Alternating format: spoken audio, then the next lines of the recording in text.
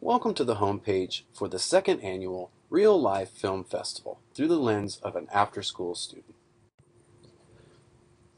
The Real Life homepage is the source for everything you will need for the Real Life Film Festival. Through the links on this page, you will be able to visit competition rules and guidelines. You will also be able to view and potentially print Film Festival scoring rubric for when you are scoring films. You will be able to submit a score virtually through this form. And finally, you'll be able to revisit past events at the wonderful State Theater. In addition to virtually scoring the films, you will also be able to view the film submissions from the comfort of your home or whatever geographic location you choose. So let's take a minute and quickly look at how we can sign in to view the videos that are submitted by the students in Region 6.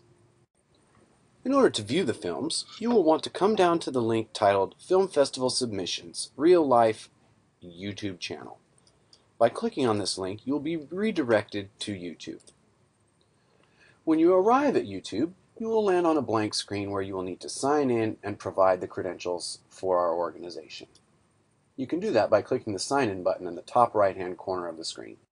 To access our submissions, you will need to enter the email address stanco.reallife at gmail.com and then our password, which is reallife